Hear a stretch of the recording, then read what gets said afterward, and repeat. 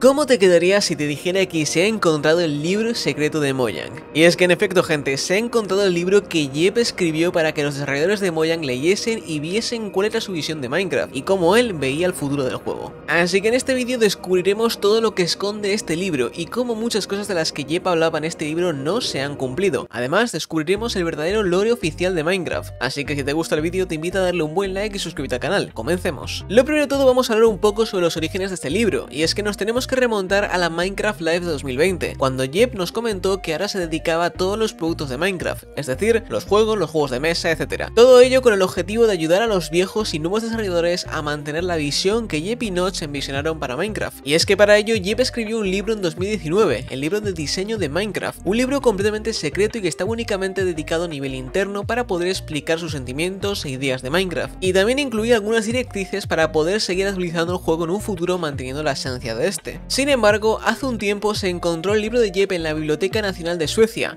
Entonces, en febrero, se consiguió contactar con un minigraftero que vivía en Suecia para que fuese a la Biblioteca Nacional a escanear el libro, para que así todo el mundo pudiese tener acceso a él. Y así llegamos al día de ayer, cuando se guardó el libro de Jeb en el Internet Archive para que todos podamos leerlo sin dificultad y de manera totalmente gratuita. Así que, sin más dilación, descubramos qué hay en su interior. El libro está dividido en cuatro partes. Introducción, qué es Minecraft, principios a seguir y anécdotas. En la introducción, Jeb nos comenta que si estamos leyendo esto es que probablemente trabajemos para la franquicia de Minecraft. Bueno, me da a mí que no. Y es que este libro nos dará contexto acerca de las decisiones de diseño tomadas hasta el momento, además de otras decisiones que afectarán al diseño del juego en un futuro. También comenta que este libro está escrito desde su perspectiva y que es su interpretación de lo que es Minecraft. Además, menciona a Notch y habla de cómo trabajaron juntos durante un año, por lo que ha recogido muchas de las cosas que él mencionaba como inspiración. Así que sí gente, podríamos decir que este libro de Jeb es un homenaje a Notch, siendo por lo tanto una pieza única en la que se combina la visión que tenía Notch y la visión que tenía Jeb de lo que es la esencia de Minecraft. Por lo que podríamos decir que este es el último vestigio que queda de Notch en Mojang hasta día de hoy. Seguimos leyendo el libro y ya nos mencionan los juegos que inspiraron Minecraft, y estos fueron Dwarf Fortress, probablemente el juego de simulación más profundo del mundo en el que absolutamente todos generado proceduralmente, Roller Coaster Tycoon, un juego de construcción de parques de atracciones donde la creatividad y la resolución de problemas van de la mano, Dungeon Master, el primer juego de rol de espeleología en 3D que utiliza mecánicas en tiempo real, e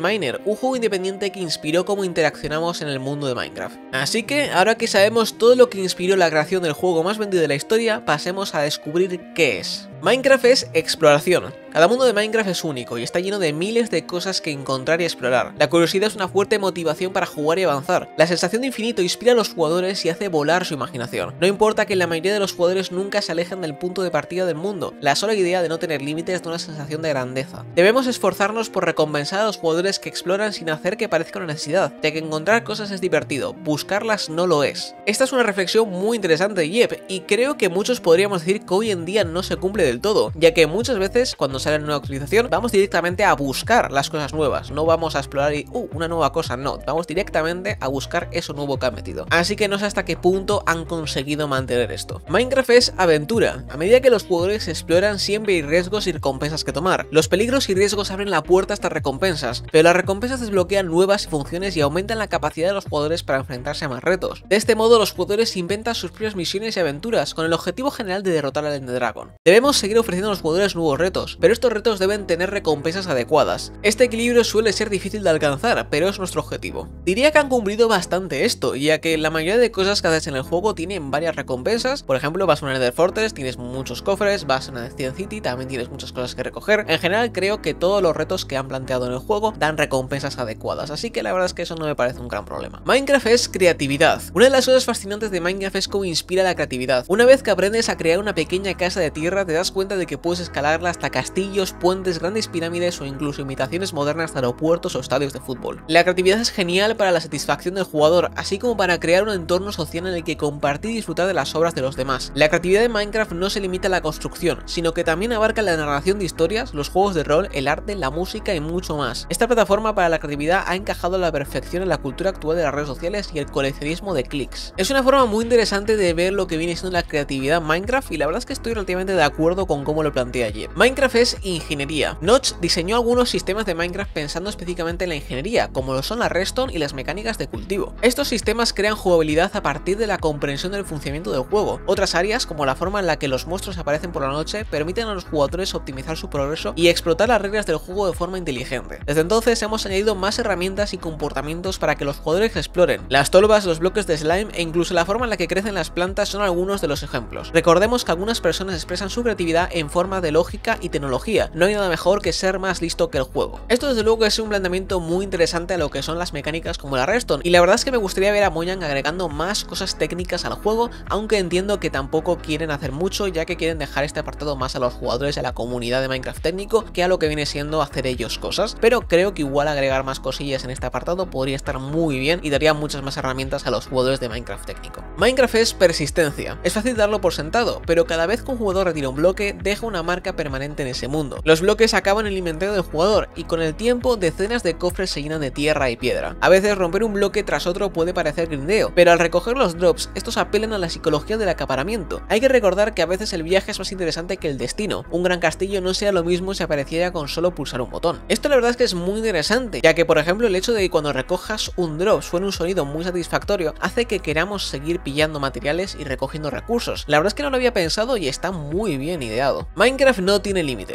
En Minecraft no hay límites ni fin. Nadie puede decidir cómo quieren disfrutar los jugadores de Minecraft. Bueno Jeb, creo que Moyak no opina igual que tú, ya que han estado bloqueando servidores que tienen cosillas que a Moyan por ejemplo no les gusta, así que no sé hasta qué punto esto se está respetando mucho Jeb. Minecraft da miedo. Excavar hasta Bedrock suele ser una experiencia tensa. No solo hay monstruos en la oscuridad, sino que los charcos de lava, los derrumbamientos y los espeluznantes efectos de sonido aumentan el suspense. El peligro de perder todo tu equipo en el vacío mientras construyes en el ente es angustioso. No solo tienes que preocuparte por tu propia seguridad, sino que los monstruos también amenazan las cosas que has construido con tanto esfuerzo. Debemos recordar mantener los jugadores activos y comprometidos. La indiferencia es peor enemigo que los creepers. Desde luego estoy muy de acuerdo, Minecraft es un juego de miedo, la verdad. Sobre todo esto ocurría más en las versiones más antiguas, cuando la oscuridad que había en Minecraft era, Dios, era muy oscuro el juego antaño. Eh, ahora ya es mucho más luminoso, pero desde luego el juego sigue teniendo algunos momentos que tienen sus sustos que la verdad es que se agradecen bastante. Minecraft es simple. El estilo artístico de Minecraft es el resultado de simplificar las cosas y dotar al mundo de una personalidad reconocible. Los personajes cuadrados y las texturas de baja resolución pueden restringir ocasionalmente cierto tipo de expresión, pero todo ello contribuye a la sensación única del universo. A veces nos referimos a esto como ugly cute o lindo feo. Mantenemos una barrera baja para que la comunidad reimagine texturas y modelos. Cualquiera debería sentir que puede crear su propio animal o monstruo para el juego, y que este resulte relevante. Al mismo tiempo, debemos averiguar qué hace que una criatura cobre vida. Esos comportamientos pueden ser cosas tan sencillas como que los lobos la den la cabeza, los pandas se revuelquen o los graciosos ruidos que hacen los shulkers. Minecraft es ridículo. Muchas de las cosas que aparecen en Minecraft son un poco tontas. La mayoría de las veces una característica llega al juego simplemente porque nos hace felices. Aunque parezca ridículo para un extraño, los personajes de Minecraft se toman las cosas muy en serio. El absurdo es similar al humor de los Monty Python. En un universo que puede ser aterrador y a veces incluso morboso, deberíamos permitirnos divertirnos un poco. Y por último, Minecraft es multiversal. Cada mundo de Minecraft no está separado por el espacio o el tiempo, coexisten en sus realidades únicas, y lo que ocurre en uno no afecta a otro. Si existiese un antes o un después, sería algo distinto a Minecraft Vanilla. Este concepto puede abrir algunas preguntas para nuestros proyectos relacionados con Minecraft. Una historia tiene lugar en un mundo concreto o relevante para el multiverso de Minecraft. Más concretamente, ¿se trata de un juego derivado que amplía el lore o es un acontecimiento aislado que tiene lugar en uno de los muchos mundos del juego? En el juego principal es mejor ser poco específico y genérico para adaptarse a todas las posibilidades, pero una historia estática puede tener más detalles como personajes con nombre e ítems concretos. Y esto es lo que para Jeb es Minecraft, y la verdad es que estoy muy de acuerdo con su visión de lo que es el juego. Así que pasemos ahora a hablar de los principios a seguir, es decir, una serie de directrices que ayudarán a los desarrolladores a diseñar nuevas mecánicas para Minecraft. En primer lugar, un bloque cada vez. El primer principio es que todas las acciones interaccionan con un bloque cada vez. No debería existir ningún tipo de funcionalidad de copiar y pegar, plantillas de construcción u otros ítems de conveniencia. Desde la perspectiva de un jugador, todo ha de comenzar con su interacción. Esto es importante porque nos permite mantener la interacción de los jugadores con Minecraft, pero también establecer una restricción esencial a cómo los jugadores construyen cosas con otros. Quiero un jugador entienda qué está pasando cuando ve a otra persona jugar. Cosas como colocar construcciones instantáneamente o usar plantillas haría más difícil al espectador de entender lo que está viendo. Desde luego estoy muy de acuerdo con Jep aquí, la verdad es que Minecraft es uno de esos juegos que con verlo ya sabes lo que estás viendo, ya entiendes lo que está pasando, la verdad es que eso lo han logrado muy bien. No existe un Steve o Alex. Steve y Alex son placeholders para los jugadores. Un jugador debería hacer su propia skin y crear su propia historia. Aunque seamos a Steve y Alex en nuestro merchandising, no deberían jugar un rol activo en nuestros spin-offs. Esto es una perspectiva muy interesante y que yo creo que destruye un poco el lore. Y es que Steve o Alex no existen como tal, son placeholders y no son personajes, digamos, que tengan una historia detrás, sino que somos nosotros mismos y como tales debemos nosotros crear nuestra propia skin para así crear nuestra propia historia. Minecraft no es exactamente un RPG. Minecraft no es un juego de rol tradicional y una clave distinción es que los personajes de los jugadores no pueden subir habilidades durante el tiempo. La única cosa que define lo que un jugador puede hacer son los ítems y el conocimiento que este jugador tiene del juego. Respecto a los niveles de experiencia hay que decir que son niveles de encantamiento que los jugadores utilizan para mejorar su equipamiento. Las cosas malas pasan, pero son técnicamente culpa del jugador. El desastre es común en Minecraft, ya sea caer en lava o que un creeper te explote la casa. El punto de estos accidentes es que el jugador está ahí para verlos ocurrir. El juego nunca debería crear situaciones que son imposibles de evitar, y cuando ocurren deberían tener un impacto muy pequeño. Hay que asegurarse de que el jugador es tratado justamente. Es por ello que el peor desastre natural que tenemos en el juego es el rayo. Si una mecánica del juego va a destruir horas y horas de trabajo duro, los jugadores deberían ser los que la inician, la paran o la evitan. Las nuevas mecánicas han de ser respetuosas con las ya existentes. Las nuevas mecánicas se han de adaptar al balanceo de las otras mecánicas que hay en el juego. Diferente es más interesante que mejor. Respecto a este punto no sé yo si estoy muy de acuerdo con lo que está planteando aquí Jeb, ya que diría que muchas veces a las mecánicas se dejan a medio hacer y podrían ampliarse mucho más. Entiendo que es más interesante hacer una mecánica nueva, pero creo que es mejor mejorar las mecánicas ya existentes que crear nuevas, porque al fin y al cabo te quedan un montón de mecánicas muy simples y no tienen mucha profundidad. Los ítems han de tener diferentes propósitos. Los inventarios de los jugadores ya están bastante sobrecargados con los cientos de objetos que existen en Minecraft. Cuando añadamos aún más alimentario, deberíamos pensar bien si podemos hacer que sean polivalentes o que tengan un uso más amplio. Y este punto no se está respetando. Obviamente, cuando meten una nueva madera, pues tenemos un montón de cosas para hacer, pero hay muchos otros bloques que son ese bloque y ya, y no tienen tanto uso como igual podríamos llegar a esperar, aunque entiendo que igual algunos ítems que quiere mantener que solo tengan un uso para que sean más especiales que el resto. Corresponde a los jugadores el construir el mundo. Cuando añadimos las vías en la beta de Minecraft, tomamos la decisión consciente de que no se desarrollarían automáticamente. Los aldeanos no construirían casas y no habría ninguna mecánica para añadir más edificios basados en plantillas. Si el pueblo necesita un muro de protección, los jugadores serán los que tendrán que construirlo. Minecraft ofrece un escenario con el que los jugadores pueden interactuar, pero son ellos los que deciden qué, cuándo y dónde sucede. No llevas una interfaz. En la medida de lo posible debemos intentar describir lo que ocurre utilizando objetos del mundo del juego, y no basarnos en mensajes de texto o en una pantalla de visualización. El mapa, la brújula y el reloj son buenos ejemplos de objetos que muestran información en el sentido del mundo. Evitar la interfaz y los mensajes de texto pueden ser un verdadero reto de diseño de interacción. Personalmente también me pongo al F3. No queremos que los jugadores sepan o se preocupen por componentes del motor del juego como las coordenadas, los estados de los bloques o los niveles de luz. Si son importantes para jugar, tenemos que diseñar herramientas dentro del personaje que se ocupen de ellos. Esto es muy interesante, pero no sé hasta qué punto han conseguido que la gente evite usar el F3, ya que es muy útil para Minecraft técnico y hasta hace nada tenías que usarlo para literalmente buscar dónde habías muerto,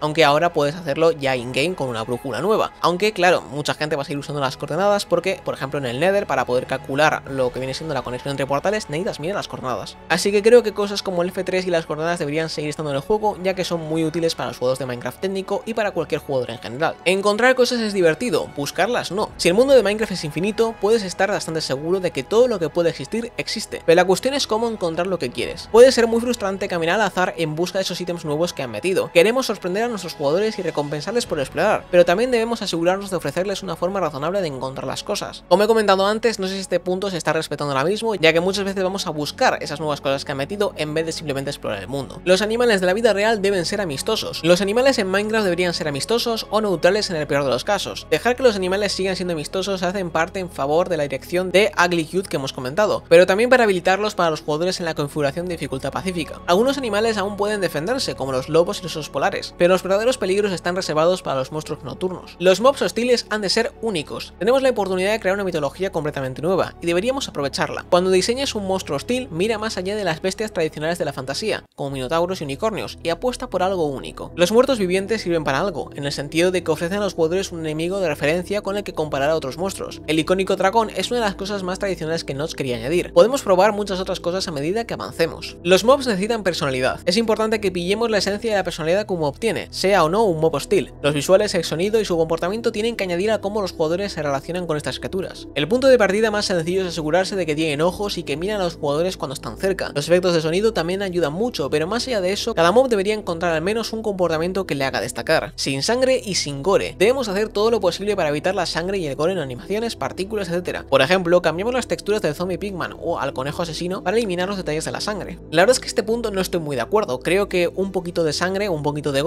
siempre viene bien y le da un toque un poco más adulto al juego que entiendo que quieren evitar a toda costa ya que es un juego enfocado digamos a niños, pero dudo que al público general le moleste que haya algunas notitas de sangre o que haya cosillas como el conejo asesino, aunque entiendo hasta cierto punto que quieran quitarlas del juego. Hay que mantenerlo vanilla. Nuestra comunidad es muy creativa y productiva. Hay cientos de miles de mobs, mapas de aventura, minijuegos, pares de texturas, herramientas y muchas otras cosas hechas por nuestros jugadores. Debemos recordar que Minecraft apela a muchos tipos de jugadores diferentes que buscan cosas diferentes. Debemos asegurarnos de que expandimos el juego en todas las direcciones y que dejemos la comunidad profundizar en sus temas favoritos. Esto es interesante y nos da un poco pistas sobre cómo funcionan las selecciones de Minecraft y es que tratan de expandir hacia muchos lados, pero creo que no lo están logrando. Creo que se están enfocando mucho en un apartado de los jugadores y están dejando de lado a otros tantos. No todos los ítems son verdaderamente únicos. Volviendo al concepto del multiverso, deberíamos evitar tener objetos y personajes únicos. Por supuesto, cada mundo y cada experiencia del jugador son únicos, pero añadir armas con nombre, como por ejemplo una ballesta llamada Busca Corazones, añadiría puntos de conexión entre mundos que los haría sentir especiales. Esto iría en contra de la idea del multiverso, donde todas las posibilidades existen a la vez. Ampliad los misterios. Hay muchas cosas raras y extrañas en Minecraft que no tienen mucho sentido, pero es nuestro trabajo no explicarlas. Esas preguntas pueden ser un punto de partida de una historia e incluso si nosotros tenemos nuestra propia idea debemos mantenerla para nosotros mismos. Esto es una explicación muy buena de por qué no existe un lore oficial de Minecraft, aunque veremos más tarde que en efecto tenemos lore. La neutralidad de género es un principio básico. Con todas las criaturas y monstruos que añadimos debemos suponer que no tienen género o que son de género desconocido.